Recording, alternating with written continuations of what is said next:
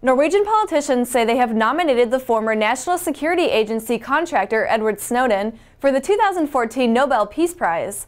Edward Snowden made headlines in June last year when he unleashed information about the U.S. government's mass spying program that targets U.S. citizens and others throughout the world.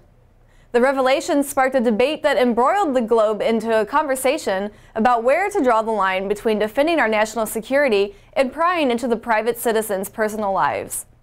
In their nomination, Norwegian politicians said Snowden's revelations contributed to a more stable and peaceful world order. Nobel Peace nominations are normally kept secret, but are sometimes announced publicly by those submitting the paperwork. Being nominated means Snowden is just one of many to be considered to receive the prestigious award.